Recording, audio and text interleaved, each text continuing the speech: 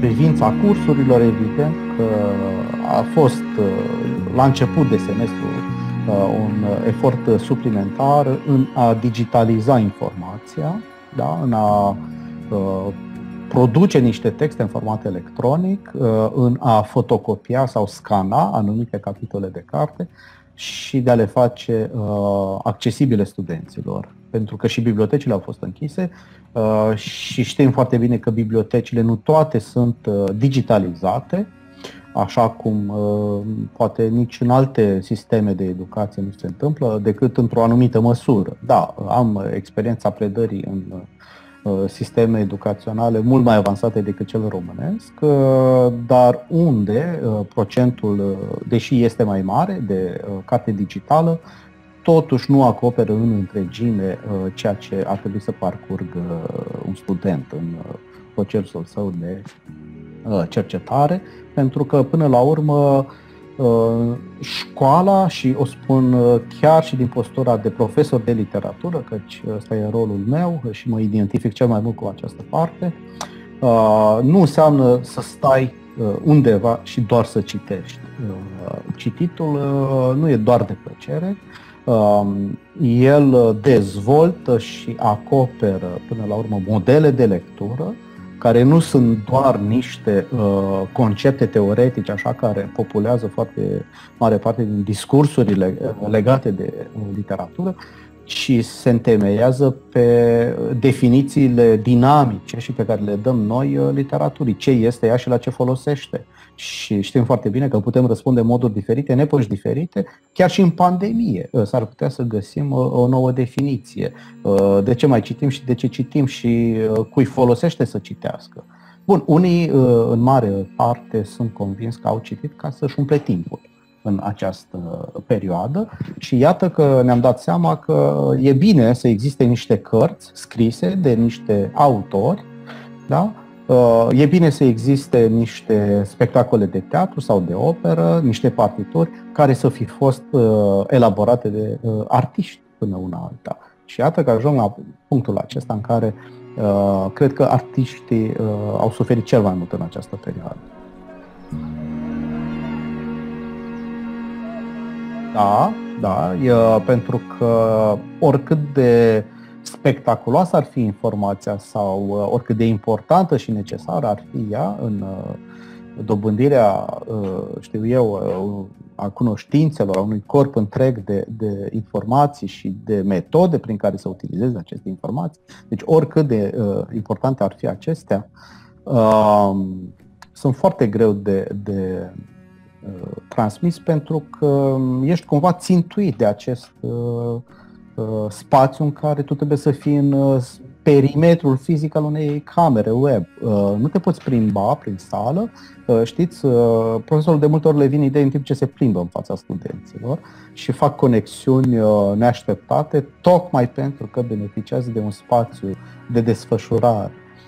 Studentul la rândul lui este obligat mai degrabă în clasă să stea pe scaunul lui, în anfiteatru, în timp ce, iată, online el poate să se plimbe pentru că, până la urmă, important este să audă uh, ce e de, fă, ce e de auzit. Uh, e adevărat, uh, pentru a ușura cumva și pentru a dinamiza comunicarea noastră am fost nevoiți să, să inserăm uh, prezentări video, grafice, PowerPoint uh, pentru a capta mai uh, bine atenția celor de dincolo de uh, webcam-ul uh, din camera ta. Uh, da, a fost uh, cumva, uh, pe de o parte, uh, provocator și uh, am depus un efort uriaș. Uh, foarte mulți dintre colegii mei sunt convins că au nevoie de psiholog după acest uh, mai bine de un an de predat online, pentru că nu toată lumea este iubitoare de noi tehnologii informatice Uh, chiar dacă ele sunt uh, obligatorii astăzi, nu ne mai putem imagina viața noastră în afara device-urilor și a softurilor, dar uh, nu toată lumea este capabilă să își petreacă aproape exclusiv existența lui profesională în jurul unor astfel de, de uh, condiții. Da, pentru că dincolo de deplasarea fizică, noi vom spune că avem internet și că putem ajunge în orice colț al lumii, dar în realitate nu e chiar așa, pentru că bun, circulă ideile, revistele, cărțile, filmele, nimic nu ne oprește să intrăm în dialog. Totuși, uh, faptul de a nu te putea vedea cu colegi de la alte universități din țară sau din străinătate uh, se simte. Oricât am încercat să, să ignorăm sau să trecem într-un plan secundar. Îl acceptăm pentru că nu e altă uh, cale de a supraviețui, dar trebuie să-l menționăm. Această restricție fizică are efecte intelectuale, după părerea mea. Și mulți care înainte poate că nu vedeau cu ochi bun cosmopolitismul și internaționalizarea, acum ori au devenit autosuficienți și închiși în propria lor cultură, ori, la extrema cealaltă, își doresc să asimileze cât pot de mult din toate culturile lumii, pentru că și-au dat seama că asta e cea mai mare bogăție de care dispunem noi. Cred că cumva aș putea rezuma cele spuse până acum. Și cred că cea mai profundă lecție e tocmai asta, că ceea ce ne definește e apartenența la o unică lume până una alta. Cu toții suntem în această poveste, cu toții putem uh, să fim afectați uh, și ca să trecem uh, ar trebui să muncim cu toți. Adică e nevoie de solidaritate.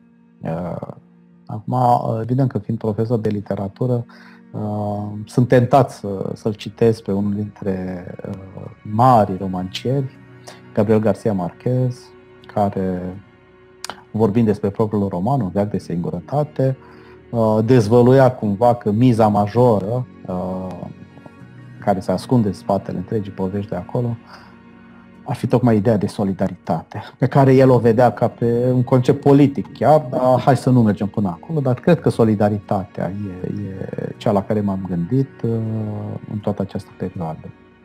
Și repet, o spun eu de pe pozițiile unui om care știe și cultivă și apreciază diferențele uh, originalitatea fiecărui individ și uh, exact ceea ce ne face diferiți. Dar a fi diferit uh, înseamnă doar a fi diferit. Uh, solidaritatea nu, nu anulează uh, originalitatea și uh, măreția fiecărui individ.